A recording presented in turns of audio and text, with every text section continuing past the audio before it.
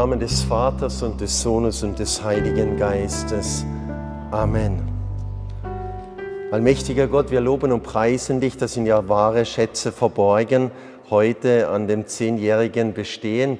Die Heidrun hat es in der Weise ein bisschen äh, uns vorgestellt, wie das alles entstanden ist. Auch dir mal ein großes Dankeschön für die viele, vielen äh, Organisationen. Und da sind ja wahre Schätze verborgen, wenn wir zusammenkommen und immer wieder den Schatz finden wollen, voller Freude finden wollen, alles dahingeben, um diesen Schatz zu gewinnen, immer wieder nach Ottersweier zu kommen, den Schatz Gottes zu finden. Das ist das Entscheidende äh, im Wort Gottes. Denn heute haben wir das Thema, die Heidrun hat sich gewünscht, sie hat sofort gesagt, Mensch, was könnten wir machen? Äh, zehn Jahre, das ist ein Akt der Freude. Jetzt, äh, ja, was habe ich da für, für Vorträge? Die Freude am Herrn ist unsere Kraft. Und die Heidrun hat gesagt, genau das. genau das, versteht ihr? Auch in der Fastenzeit darf Freude sein. Nächsten Sonntag geht es ja in Letare hinein. Äh, es ist immer wieder so, auch der Sonntag ist ja ausgenommen, deswegen sind wir auch in der Freude am Herrn, die ist unsere Kraft. Und wir wollen hineingehen und dankbar sein für diese zehn Jahre. Es sind jetzt schon zehn Jahre geworden. Manchmal habe ich auch gedacht, wo ist die Zeit hingekommen? Wo ist die Zeit hingekommen? So viele wunderbare Abenden haben wir gehabt, jetzt auch Nachmittage. Wir müssen auch schauen, wie das dann weitergeht im, im, im, äh, in der Sommerzeit. Wahrscheinlich ist es schon zu früh. Vielleicht wechseln wir dann, aber über den Winter äh, äh, ähm, äh, ist es schon ganz gut, früher anzufangen. Das ist, hat sich jetzt gut bewährt. Aber da müssen wir noch mal ein bisschen drüber reden. Und jetzt freuen wir uns, hineinzugehen in dieses Gleichnis vom Schatz von der Perle äh, und äh, des Schatz im Ackers. Das ist mal ganz, ganz wichtig.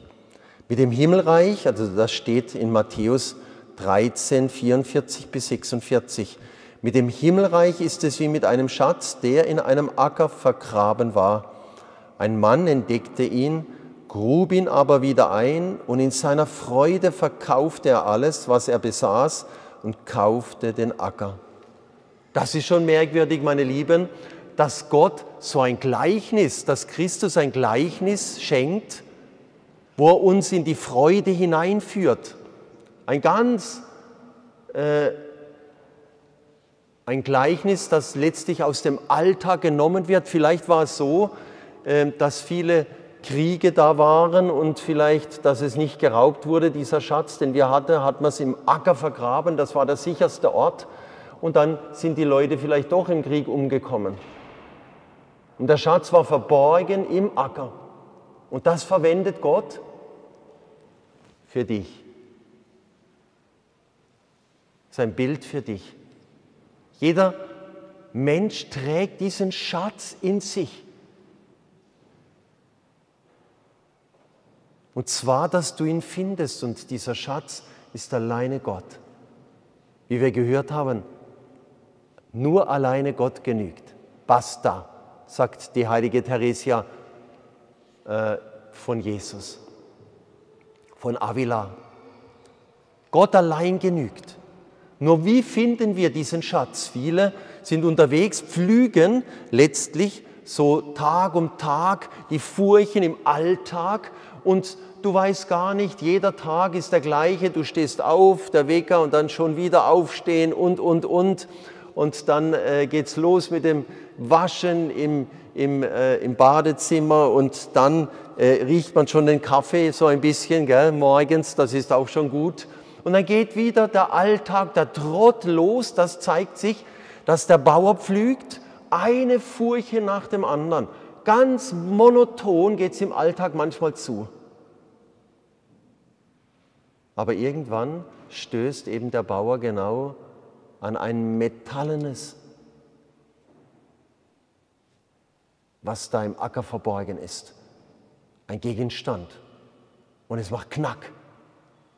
Und die Pferde bleiben stehen. Es geht nicht mehr weiter. Und der Bauer muss natürlich genau hinschauen, was ist da eigentlich im Acker verborgen? Ist das ein Stein? den muss ich jetzt rausgraben, weil das hat man so gemacht, immer wieder, dass man äh, diese Steine entfernt hat vom Feld, dass es steinfrei ist. Am besten, dann geht es gut pflügen. Ist da was übrig geblieben? Nein, er sieht einen metallenen Kasten und er macht auf und sieht, da ist ja was drin. Da ist ein Schatz drin. Der ist verborgen. Er schaut um sich und denkt, hoffentlich hat mich niemand gesehen. Hoffentlich hat mich niemand gesehen. Das weiß niemand außer mir und dem lieben Gott. Und er sieht, dass sein Schatz verborgen ist. Und das verwendet, meine Lieben, das wirklich einmal passiert ist, gerade vielleicht, es sich erzählt wurde äh, dort und Gott greift es auf. Weil er durchschaut alles, er ist allwissend und greift genau das auf und macht ein Gleichnis daraus, wie ein Mensch, der etwas findet im Alltag, im monotonen Alltag äh, des Lebens, äh, in deinem Leben, äh, wo es einfach so triste manchmal zugeht und manchmal ist es auch nicht so einfach, im Alltag so voranzugehen, auch als Missionar. Aber dann, im rechten Moment, finden wir etwas. Ich weiß noch, wo ich wieder Gott gefunden habe. Das war genauso ein Anstoß mit dem Flug im monotonen Alltag meines Lebens immer und immer wieder. Geht es denn so weiter? Jetzt bin ich Briefträger und so weiter. Jetzt bin ich Beamter auf Lebenszeit. Geht es jetzt jeden Morgen gleich aufstehen, Briefe rumtragen, von einem Briefkasten zum anderen, mit einem Paket zum anderen äh, und äh, von einer Haustür zum anderen die Pakete? Ist da ist das alles? So bin ich oft in der Kirche gewesen auch mal und habe mich gefragt, ist das alles, lieber Gott? Und dann, dann hat es Knick gemacht, dann hat es Knall gemacht und ich habe diesen Schatz finden dürfen und Gott hat sich mir offenbart. Das ist jetzt vielleicht meine Geschichte, aber genauso ist es bei euch, mitten im Alltag, mitten drinnen. Berührt dich Gott und du findest diesen Schatz, den du noch nie vorher verspürt hast. Du hast eine Liebe gefunden, wie wir auch gesungen haben, eine Liebe, die von Gott kommt, die wir vielleicht noch nie erfahren haben. Aber da kam es irgendwann, vielleicht bist du mal in der, Schu in, in, in der, in der äh, Kirche gewesen oder ich weiß noch, wie es bei mir gegangen ist. Ich habe immer Gott gesucht bei den Menschen, ganz konkret äh, bei äh, denen, wo ich irgendwo äh, unterwegs treffe, von einem Gesicht zum anderen Gesicht. Und äh, dann habe ich erfahren, haben die Christen etwas? Haben sie es wirklich? Haben sie dieses Licht? Ich habe genau beobachtet. Sehr genau. Das war mein, äh, äh meine, mein Anstoßen an dieser Kiste des Schatzes. Haben die Christen etwas? Da muss ich es finden.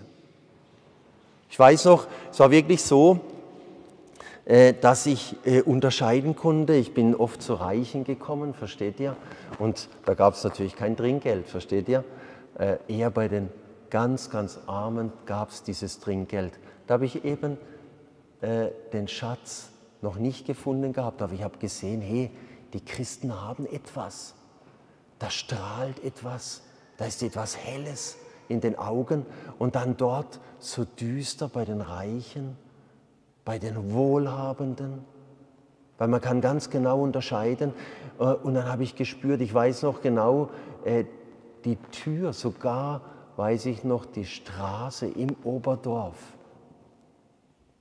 im Oberdorf 45. Und dann hat es Klick gemacht.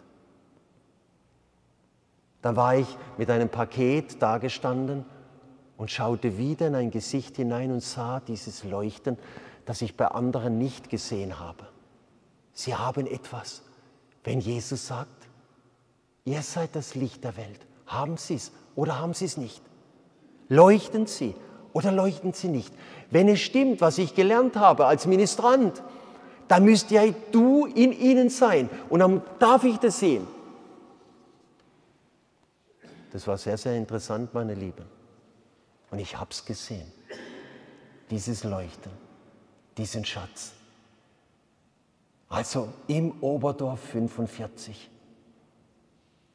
Und da bin ich weggefahren mit dem Postfahrrad, äh, bin ich weggefahren und habe gedacht, jetzt weiß ich, dass es dich gibt. Jetzt weiß ich, dass es dich gibt.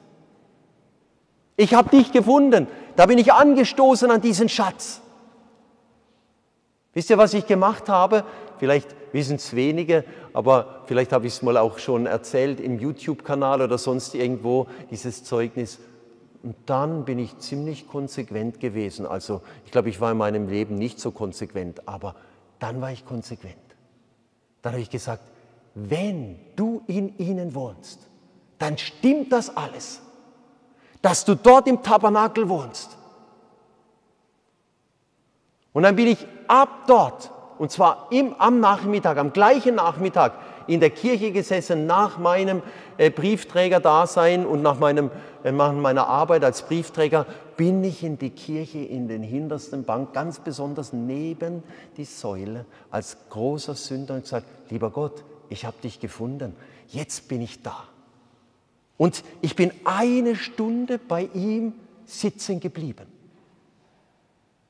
Und das war meine Flitterwochen, ein Jahr lang. Unaufhörlich. Immer wieder hingegangen. Und er hat mich so in Liebe über, über, überschüttet. Das könnt ihr euch nicht vorstellen. Er hat geradezu gezogen, wie man so sagt, er hat mich über den Tisch gezogen mit seiner ganzen Liebe. Also so an sich gezogen. Ich habe ihn gespürt im Herzen. Ich habe seine Liebe verspürt, unseren Gott. Ich habe diesen Schatz gefunden. Da war es manchmal so, dass ich vielleicht nicht gegangen bin, war ein bisschen ein zu, zu faul oder es war viel Arbeit, da bin ich nicht gegangen und bin dann vielleicht drei Tage mal nicht gegangen. Wisst ihr, was dann war? Auf einmal spürte ich, ich habe nicht mehr den Blick. Es verwässert sich alles. Vorher habe ich so klar gesehen. Ich war noch nicht beichten. Stellt euch das mal vor. Ich war noch nicht beichten. Der Blick wurde wieder verfinstert. Und es war so trübe. Vorher war es so schön klar, indem ich jeden Tag gegangen bin und nur vor ihm gewesen sein. Der hat sich wahrscheinlich gefreut. Jetzt ist er endlich da, der Kerl. Mal schauen, was wir mit dem machen. Wenn er schon da ist, der Kerl. So lange hat er äh, äh, sich nicht blicken lassen. Oder war irgendwo unterwegs und hat gesucht und angeklopft und hat genau beobachtet. Da war ja er auch dahinter, dass man beobachtet hat. Und diese Gottesfrage, gibt es ihn wirklich? Gibt es ihn wirklich? Unseren Gott? Aber dort habe ich in diesen Flitterwochen, in diesem ganzen Jahr, habe ich meinen Gott kennengelernt.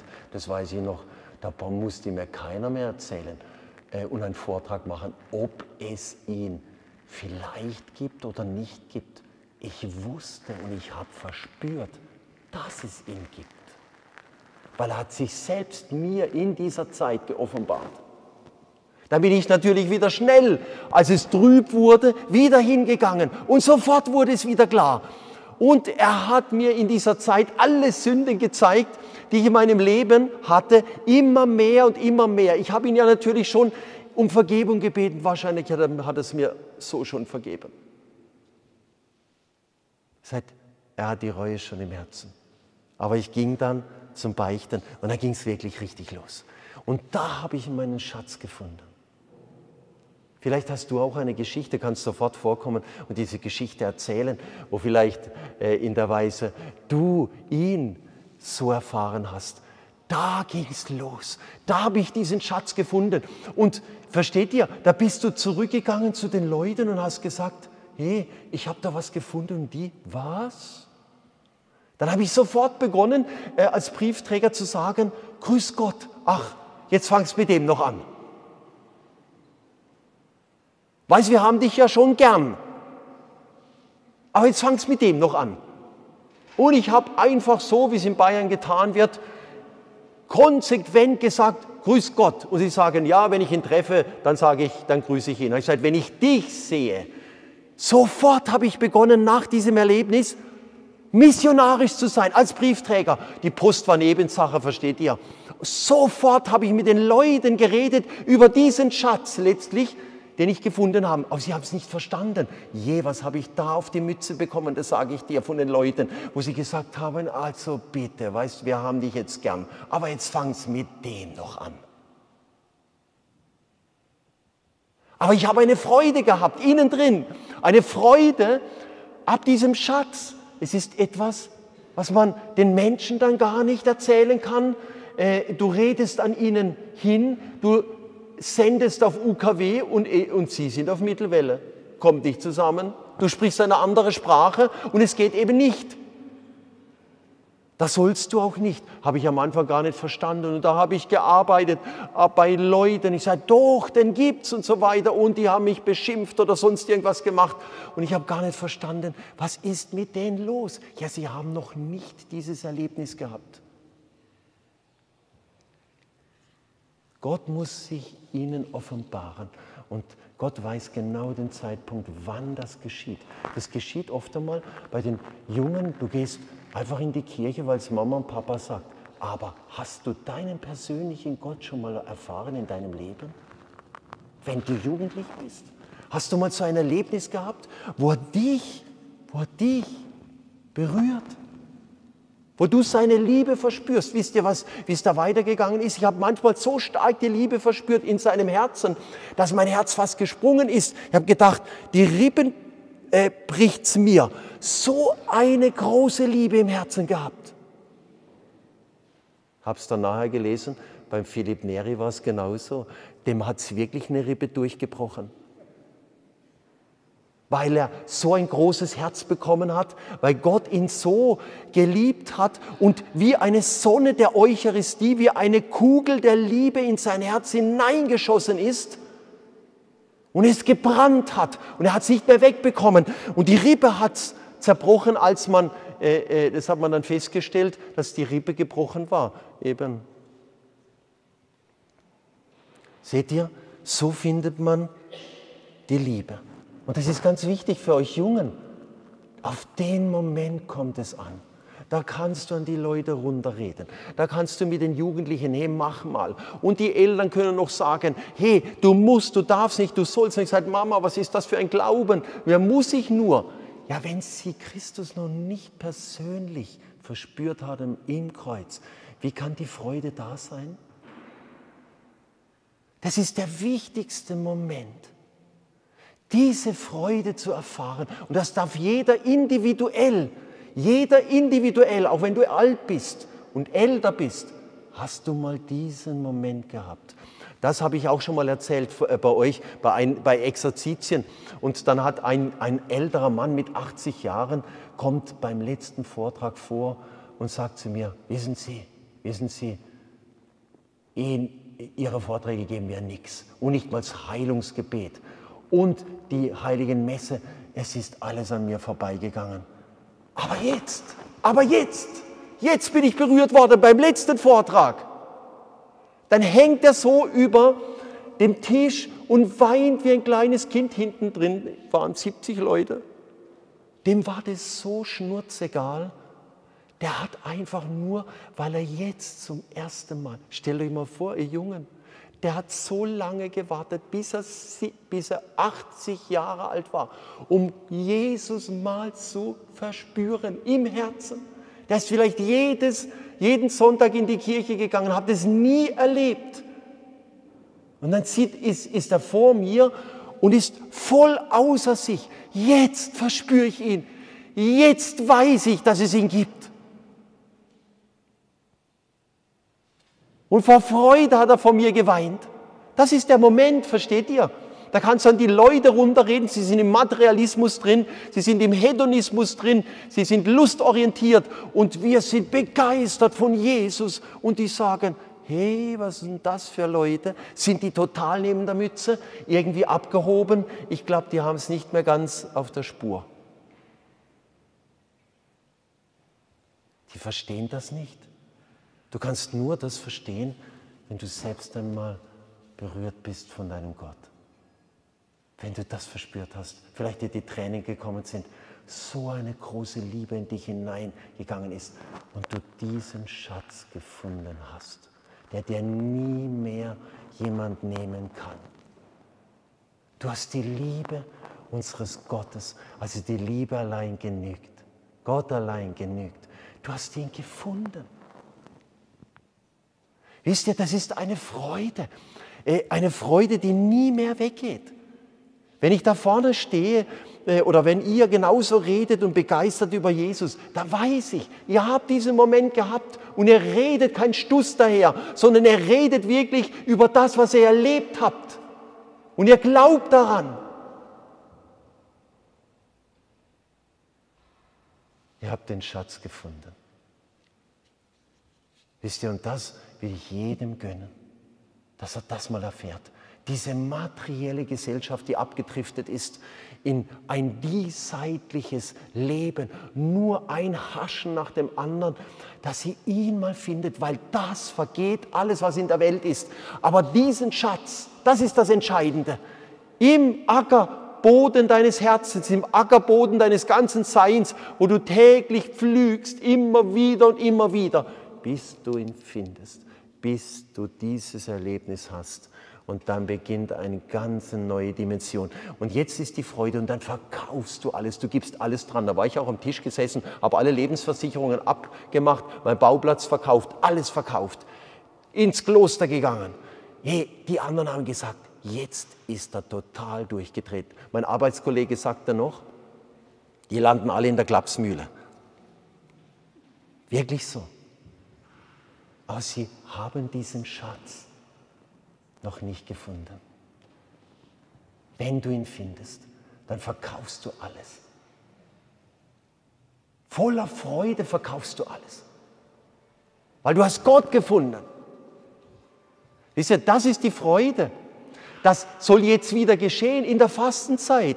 Deswegen ist es das Thema auch in der Fastenzeit, dass wir in diese Freude kommen und alles weglassen und wieder Gott die Möglichkeit geben, nicht vom Fernsehen, versteht ihr, nicht vom Internet, nicht vom Handy, sondern dass du ihm die Chance gibst, dass er dich berührt. Wisst ihr, was für mich das Schönste ist? Nicht, dass ich da predige, nicht, dass ich Einsätze habe das ganze Jahr hindurch. Nein, wenn ich heimkomme und wieder in die Kapelle gehe wenn diese Liebe wieder über mich kommt wie am Anfang, dann ist mein, meine Seele wie ein kleines Kind, ruhig. Und ich weiß, mein Gott liebt mich und das genügt. Da ist mir alles nicht mehr wichtig. Kein Erfolg, nichts, keine Starallüren, nichts. Nicht der Beste zu sein, nichts. Nur eines, geliebt zu werden von Gott. Unsere Seele ist unruhig, bis sie ruht in dir, in dieser Liebe, in diesem Schatz. Oder wie es in Psalm heißt, meine Seele schmiegt sich an dich, meine rechte Hand umfängt dich. Das ist für mich das Wichtigste. Und meine Seele, obwohl ich jetzt äh, dann am Dienstag jetzt 57 Jahre alt werde, ich suche immer noch danach, immer nach dieser ersten Liebe, die ich erfahren habe in diesen Flitterwochen, in diesem Jahr, wo ich als Briefträger unterwegs war, jeden Nachmittag nach der Arbeit eine Stunde oder eineinhalb Stunden. Ich habe auch geschlafen, daher gibt es den Seinen im Schlaf, das ist kein Problem. Wenn du müde warst von der Arbeit, kein Problem. Aber du bist aufgewacht und wie ein wunderbares, schönes Friedensgefühl hier drinnen. Ich weiß, dass es dich gibt und ich weiß, du liebst mich. Jetzt weiß ich, wo ich herkomme von dir. Ich bin nicht eine Laune der Natur irgendwo, sondern von dir bin ich. Ich habe dich gefunden, meinen Ursprung. Wisst ihr, das ist die Freude. Das ist die Freude, die mich bewegt. Und ich suche immer diese erste Liebe. Genauso die, die Ehegatten sollten so machen, die erste Liebe so suchen, wo sie miteinander zusammen waren. und wieder hingehen an die Orte, wo sie sich so geliebt haben, wenn es nicht mehr so funktioniert. Genauso sucht meine Seele den Geliebten, den Bräutigam, den Heiland. Meine Seele ist wie eine Braut, sie sucht den Geliebten. Und wenn er sich wieder mir offenbart, wenn er sich versteckt, furchtbar ist das, oder? Ist das nicht furchtbar in der Ehe, wenn der andere dich krumm anschaut, wenn er so Augen hat, die nicht mehr voll der Liebe sind? Hoho, das erträgt man nicht lange, stimmt's? Siehst du, so erträgst du das auch nicht lange, wenn, wenn, äh, wenn, wenn mein Gott, mein Gott, mein Jesus sich versteckt vor meiner Seele. Oh, dann frage ich mich sogar, Jesus, habe ich was gemacht? Habe ich dich verärgert? Jetzt muss ich dich so suchen. Ich muss dich so suchen. Ich will dich finden.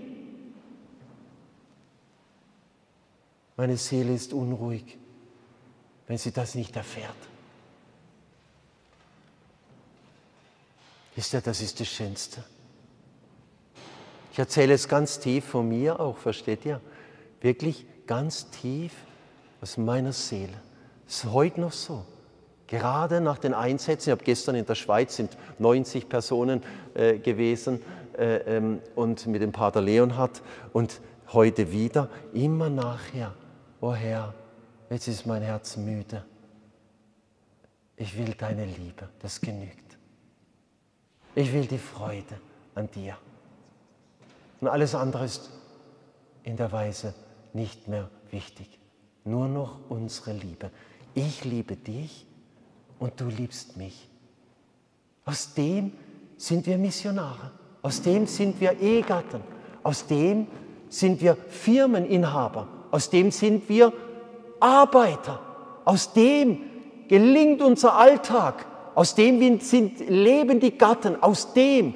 Nämlich du musst diese Brautschaft leben zu deinem Jesus als Mann, aber auch als Frau. Wie wird dann diese Partnerschaft gelingen? Vergesst das nicht. Ihr müsst immer diese Brautschaft, diese innigste Liebe meiner Seele zum Bräutigam leben dann wirst du auch eine richtige Brautschaft hier unten, eine sichtbare Brautschaft mit einem Braut, äh, äh, mit einem äh, äh, Ehegatten leben können. Versteht ihr? Das ist so wichtig. Genauso das Gleiche mit der Perle. Denn der ganze Glaube ist wie eine Perle. Oh, da haben wir unsere Perle gefunden. Und du suchst so lange, bis du die schönste hast. Wir sind einfach so. Wir wollen das Beste. Und geb dich nicht mit was Minderwertiges ab, sondern such so lange, bis du die schönste Perle hast. Wir haben viele schöne Perlen in dieser Welt, was wir alles haben können und so weiter und so fort. Aber die schönste zu besitzen, ist das Entscheidende. Und wenn du sie mal siehst, die schönste Perle, wow, dann verkaufst du wieder alles voll Freude. Das ist das, was hier im Evangelium steht. Voll Freude verkaufst du alles, um diese Perle zu besitzen. Und das nimmt Jesus wieder als Gleichnis, ihr Jungen auch, die ihr da seid und ihr Älteren und ihr Väter und Mütter, wieder das. Das ist die Perle. Besitze sie. Finde sie, suche sie bis du sie hast. Und wenn du sie gefunden hast, dann kommt die wahre Freude. Jetzt habe ich sie und jetzt darf ich sie besitzen. Und das nimmt Gott wieder als Gleichnis. Gib dich nicht mit dem Minderwertigen ab, was, was Motte und Frost zerfrisst, sondern geh hinein und suche das, was bleibend ist, was ewig ist. Und nur eines zu besitzen, das Himmelreich, die Perle, Gott zu besitzen, dass er sich dir schenkt in diesem Reich, wo, wo er in uns hineingeht. Das ist das Eigentliche. Da sind wir auch Fremdkörper in dieser Welt, weil die Welt, die versteht nicht, was von Gott kommt. Sie versteht das Reich Gottes nicht. Es ist ein bleibendes Reich, ein geistiges Reich, das in uns kommt, dass wir jemanden kennen, dass wir unseren Ursprung kennen, von dem wir kommen. Und dieser Ursprung, er liebt uns unendlich. Das ist die Perle. Und wenn du sie gefunden hast, dann ist es die Freude. Und du verkaufst alles, um diese Perle zu besitzen. Merkt ihr? Da verkaufst du alles. Mit Freude. Das ist auch jetzt genau die Zeit in der Fastenzeit, wo wir das richtig tun dürfen. Ja? Auch bei dem, also diese Perle, die schönste aller Perlen, das ist Gott. Schau dir mal, wie schön, dass er schon alles erschaffen hat, Himmel und Erde, den ganzen Kosmos, den Mikrokosmos, die Schönheit in den Meeren, die Schönheit äh, in der ganzen äh, Vegetation, die Schönheit der Tierwelt, die Freude, die er hineingelegt hat. Wie wird er sein, wenn wir ihn dann so schauen dürfen, wenn wir diese Perle haben dürfen und immer anschauen dürfen in der ganzen Schönheit, wie er ist, der Schöne, der ganz Schöne von allen, der Schönste aller Menschen. Wenn wir ihn anschauen dürfen, da ist das nichts, versteht ihr? Wir haben mal so in der Schweiz passiert. Ähm, äh, äh, dann äh, vor einem Tabernakel, wo es mir so schlecht gegangen ist, auf einmal dachte sich wahrscheinlich Gott, den Kerl muss ich jetzt mal ein bisschen in seiner Tätigkeit aufmöbeln. Äh, und auf einmal kommt eine Musik und ich höre die Engel singen. Ich, wie ein Vorhang weg und auf einmal Weihrauchduft von der besten Marke und dann ging es los mit dem Lobpreis. Aber ich sage mal, Sie sind ein bisschen besser wie ihr, aber ihr kommt auch schon ganz schön nah dran. Aber ich sag's euch, harmonieren, harmonieren, dass es gerade zu spät ist. Und ich dachte, was ist jetzt los? Ja, äh, und noch zwei Sekunden war es weg. Und sagt, ja, warum bleibt jetzt das nicht? Lieber Gott, warum bleibt das nicht? Ich will es haben. Wie Petrus, lass uns drei Hütten bauen. Eine für dich, eine für Mose und eine für Elia. Ja, schon wieder weg. Und ein Duft. Das ist die Perle. Verlier sie nicht. Und manchmal gibt er uns solche kleine Zickerchen, so eine kleine Vorwartschaften, so etwas, wo er dir einen Vorschuss gibt, dass du ja nicht im Kreuz liegen bleibst, sondern immer weiter gehst und ihn suchst. Diese Perle, diese wunderbare Perle, diese einzigartige Perle, die Schönheit. Wisst ihr, was ist das hier unten, dieses Tränental? Gegen das, was uns erwartet. Kein Auge hat es gesehen, kein Ohr hat es gehört. In keines Menschenherzen ist es gedrungen, was der Herr denen bereitet, die ihn lieben. In der Schönheit der Freude. Oh, wie groß ist das, wenn man ein klein bisschen, so zwei Sekunden, das mal erleben darf. Mein, da wirst du hineingezogen, da geht es richtig los. Da gehen wir hin. Das ist das Ende, nicht das Kreuz.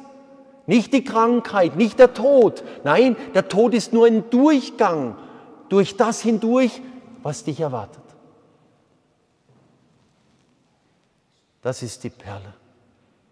Oh, wie wünschte ich das meine Brüder und Schwestern da draußen. Ich ragge ab, ich fahre mir äh, die Reifen ab als Missionar. 40.000 im Jahre fahre ich äh, äh, und gehe überall hin, um dieses zu verkünden, damit die Menschen diese Perle finden. Habe jetzt gerade wieder einen Evangelischer gehabt, einmalig, umgekehrt. Äh, oder durch einen Vortrag vom YouTube-Kanal, stelle ich mal vor, eine, ich glaube, sie ist auch evangelisch, und hat gesagt, ja, dann hat sie das gemacht, was ich gesagt habe. Und dann hat sie in dem die Heilung erfahren am, zu Hause, im Grunde beim Vortrag, hat sie die Heilung erfahren, hat es geschrieben. Also ich denke mir, wunderbar, es geschieht. Gott tut etwas. Aber wie sehr zieht der Materialismus? Wir spüren jetzt in der Kriegsnot, oh je, wie schnell alles zerrinnen kann. Wisst ihr, wenn wir Gott haben, haben wir immer noch alles. Wenn es da draußen Katzen hagelt, sagt man doch im Badischen, oder? Wenn es Katzen hagelt, wir haben immer noch Gott. Wir haben diese Perle gefunden und er holt uns ab. Und wenn du dein eigenes Leben verlieren würdest, du hättest sie, weil du den Glauben in dir hast und hast sie gefunden, diese Perlen. Das ist die Freude. Das ist meine Freude genauso, äh, wenn du die Talente hast, mit denen solltest du arbeiten, äh, wo äh, immer wieder gesagt wird, komm in die Freude meines Herrn, wenn du mit dem gearbeitet hast, was du bekommen hast. Wenn du dann rausgegangen bist und er dich berührt hat, dann arbeite mit dem. Wirklich, vergrab es nicht. Vergrab es nicht. Wucher mit dem, was du alles bekommen hast und geh weiter. Mach aus den Talenten, die du hast, noch mehr. Und daher gibt sie dazu. Immer nur um eines hinauszubringen, dieses Reich Gottes, diese wunderbare Perle, damit sich alle erfreuen können. Weil wir haben wirklich als Christen die wahre Freude, nicht die anderen. Es ist ein, eine Freude, die vorbei hascht. Was haben sie am Schluss? Nichts. Ja, geht es jetzt ins Grab und dann ist nichts? Gehen wir in den Nihilismus? In ein Nichts? Oder beginnt es? Wir sind eigentlich unterwegs, dass das Schönste noch kommt.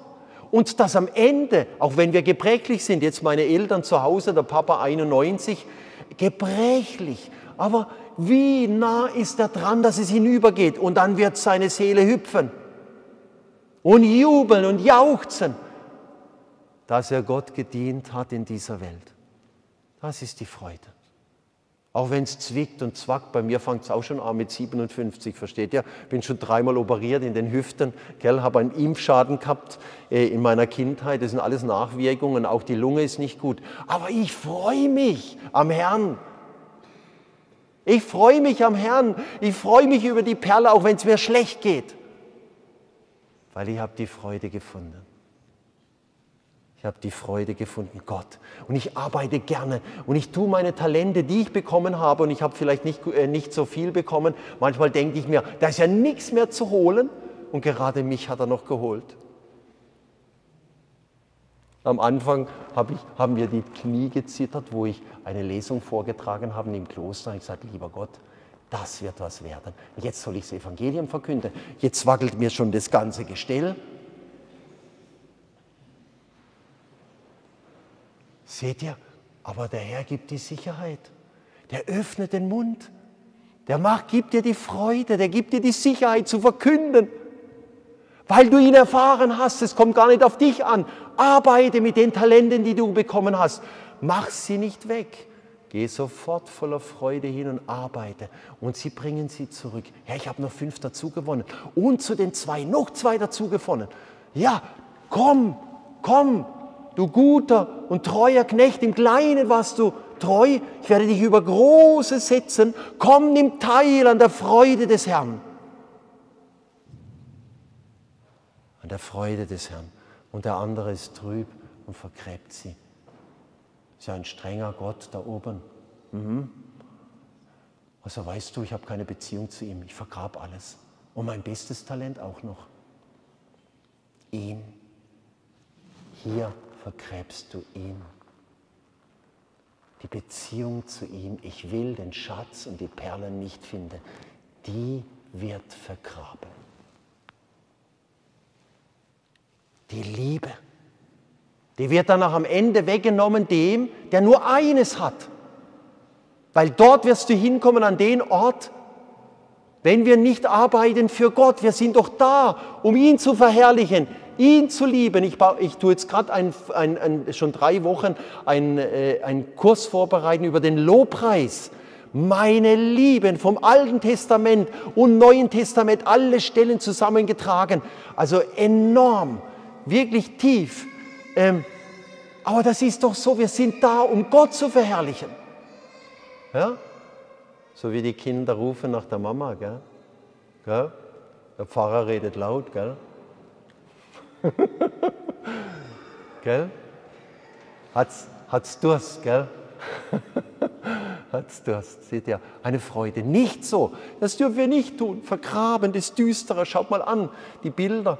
Oh, das dunkle Gesicht. Ich kenne diesen Gott nicht, der ist unberechenbar. Der ist streng. Der ist, dem kann ich nicht trauen. Über den Weg. Es wird alles vergraben, deine ganze Beziehung. Ich lebe hier in dieser Welt, das ist mein Gott. Mein Geist, der Geist dieser Welt empfange ich. aber nicht den Geist Gottes. Sie vergraben die ganze Beziehung. Was ist da Düsteres in diesen Menschen? Und dann kommen sie zurück, Herr, hier hast du dein, äh, dein Talent, hier hast du dein Talent. Äh, ich weiß, dass du ein strenger Mann bist, äh, du hebst ab, wo du nicht gesät und so weiter und so fort. Erkenn's. Was, sagt Gott, hättest du es nur auf die Bank getan, hätte ich noch Zinsen gehabt. Wisst ihr, was hat der in der Zwischenzeit gemacht, meine Lieben? Wie hat der gelebt? Habt ihr euch mal gefragt, wie hat er gelebt? Der hat nur für sich gelebt. Der hat die Beziehung zu seinem Herrn vergraben. Und dann wird ihm noch weggenommen, was er hat, Gott zu lieben. Er wird dann an einen Ort kommen, wo er nie mehr, äh, er wird mit den, mit den äh, Zähnen knirschen, versteht er, hinausgeworfen in die äußerste Finsternis, wo, wo Heulen und Zähneknirschen ist, wo er nicht mehr lieben kann. Es wird ihm die Möglichkeit, nee, die Fähigkeit weggenommen, weil er nicht lieben wollte, weil er Gott nicht lieben wollte und dann auch nicht in rechter Weise den Nächsten. Wird ihm weggenommen, dieses eine Talent. Das hat jeder bekommen. Jeder hat das Talent. Liebe, Liebe, bis es weh tut. Liebe Gott aus deinem ganzen Herzen und den Nächsten wie dich selbst. Vergrab es ja nicht. Vergrab es nicht. Das ist furchtbar, das ist so düster, versteht ihr? Aber wie lebt er? Hoje, alles Mögliche, gell? Auf Reisen gehen, leben und schaffen nur für mich, aber nicht für Gott. Und ich bin froh, meine Lieben, auch wenn ich viel Arbeit habe, dass ich arbeiten kann für Gott. Seid froh in den Familien, wenn ihr glauben kann. Ihr Jugendlichen seid froh, dass ihr Gott habt. Lebt aber auch, zieht euch nicht zurück, geht hinein. Ihr habt was der Welt zu bieten. Und zwar diesen Glauben, dieses Licht in eurem Herzen, das haben sie nicht. Gebt aber Acht, dass ihr euch nicht niederprügeln äh, und werft die Perle weil die Perle, die ihr im Herzen habt, eures Glaubens nicht vor die Säue. Versuch nicht jeden zu bekehren, warte ab. Lass dich dorthin führen, wo Gott, das musste ich lernen auch, wo Gott es vorbereitet. Und dann kannst du das Licht hinauslassen aus dir und der andere nimmt es entgegen. Wenn er dich nicht will, wenn er Gott nicht will, dann zertritt er dich und der Herr wird dich schützen. Da kannst du so eine Enttäuschung bekommen. Ja, lieber Gott, also ich habe mir das jetzt anders vorgestellt, jetzt bin ich total kaputt. Ich liebe dich ja über alles. Die haben mich jetzt so fertig gemacht. Jetzt verliere ich noch den Glauben. Da will dich Gott schützen. Deswegen sagt er, wirf die Perle nicht vor die Säue. Denn sie drehen sich um und zertreten dich. Weil der Herr weiß, wie schwach das wir sind, dass du ja nicht die Freude verlierst. Nie die Freude verlieren. Er schützt uns. Wie schön, versteht ihr? Auch äh, wenn du äh, diesen Schatz da unten findest, ja nicht vergraben, sondern immer genauso äh, ist es mehr, äh, äh, mehr Freude, mehr Freude, meine Lieben, mehr Freude an einem Schaf, das umkehrt und das du findest, wie über 99 Schafe, die der Umkehr nicht bedürfen. Es ist mehr Freude im Himmel. Wenn auch eins abgeht, manchmal sind wir bockig und wir wollen nicht. Der Herr geht uns nach. Das ist auch unsere Freude.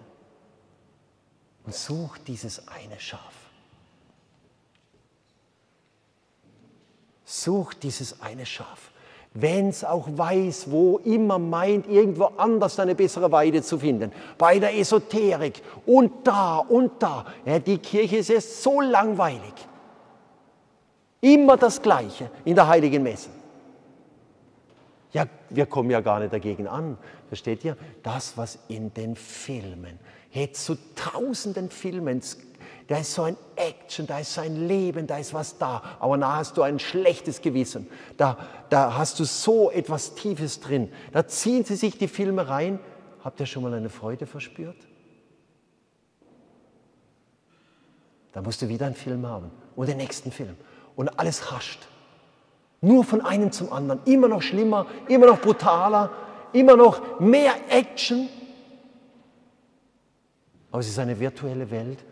Ich habe das nicht gefunden da. Man hat es ja auch mal angeschaut. Ich habe es gefunden, wenn ich bei Gott bin. Wenn er mir nachgegangen ist und hat mich gesucht als verlorenes Schaf und hat mich so lang gesucht und er ist genommen auf die Schulter voller Liebe und hat es zurückgetragen. Zurückgetragen. Und es ist mehr Freude im Himmel. Stellt euch das mal vor. Jubel im Himmel, Lobpreis, Freude. Über 99 Gerechte, die der Umkehr nicht bedürfen. Ist das nicht großartig? Ist das nicht einzigartig? So eine Schönheit, wenn Gott uns diese Gnade schenkt, dass er uns nachgeht und dieses eine Schaf holt.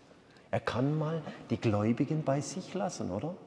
Die weiden sich selbst, die haben ja noch sich. Und da kann der Hirte mal weggehen und sagen, diesem einen Verlorenen nachgehen, bis er es findet. Und er nimmt das auf die Schulter, trägt es rein. Und dann bricht der Jubel im Himmel los. Die Freude.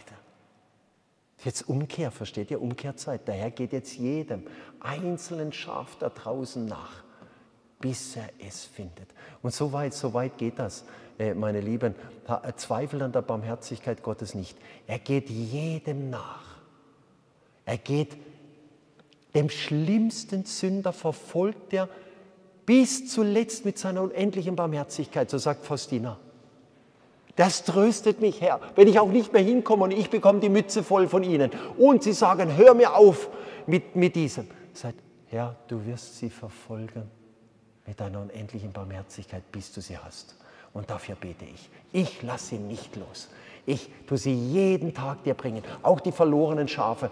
In jeder heiligen Messe habe ich alle dabei alle da draußen. Ich bete für jeden, ich vergesse niemanden.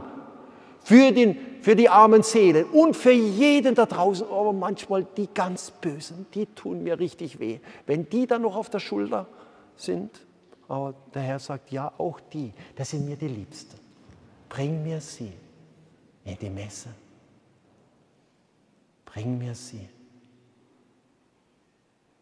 Ich liebe es, wenn du für jeden ein gutes Wort hast für den schlimmsten Feind, der dich verwundet hat. Für den Kaktus, der um die Ecke biegt. Den, den du überhaupt nicht abkannst, der dir voll quer im Magen liegt. Genau den. Wenn du da ein gutes Wort hast und sagst, Herr, und den schleppe ich in die heilige Messe und in meinem Gebet und im Rosenkranzgebet zu dir. Das liebt Gott, so wie er es liebt, die Schafe nach Hause zu bringen. Und dann ist mehr Freude im Himmel, wie über 99 Gerechte, die der Umkehr nicht bedürfen. Seht ihr? Und der Herr, das ist jetzt dann schon der Schluss, die Heidrun schaut schon, dass ich so langsam hinkommen muss. Aber wenn du mir schon aufgibst, über die Freude zu reden, wie könnte ich aufhören, versteht ihr? Mit der Freude. Versteht ihr? Eigentlich müsste ich es Letare machen, so ein Vortrag, aber du hast mir es gegeben und ich glaube, es war gut, dass du es gegeben hast, wenn der Herr dich heimträgt. Wenn der Herr dich heimträgt und die Schafe weitet. Auf der himmlischen Wiese, versteht ihr? Auf der himmlischen Wiese. Und das genauso mit, dem, äh, äh mit der Drachme, genauso Versteht ihr? Dann müssen wir, wenn sie gefunden wird, die Drachma, wenn sie noch ganz wenig Wert hat, dumm, ich muss sie finden. Ich muss meinen Gott finden. Und wenn ich sie gefunden habe, dann müssen wir ein Fest feiern. Freude. Freude. Die Freude am Herrn ist unsere Kraft. Denn er ist gekommen, das Verlorene zu suchen, um es zu finden. Das ist es. Das ist die Freude, versteht ihr? Die nie aufhört, die in meinem Herzen ist. Und die wird nie enden, weil wir einen Gott der Freude haben. Wir haben wahrhaft einen, einen Gott, über den wir uns freuen dürfen. Denn diese Freude an ihm, das ist unser Kraft.